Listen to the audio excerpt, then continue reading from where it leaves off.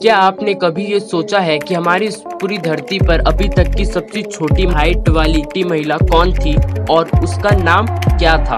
अगर आप नहीं जानते तो मैं बता दूँ, पॉलिन मस्टर नाम की महिला थी जिसकी हाइट महज 24 इंचेस थे, यानी कि बस एक फ्लावर वास जितनी जिनका वज़न बस डेढ़ किलो था। उनका जन्म नीदरलैंड में 26 फरवरी अठारह सौ छिहत्तर में हुआ था। मात्र 19 साल की उम्र में निमोनिया और मिनिंगटिट्स नामक बीमारी से निधन हो गया था।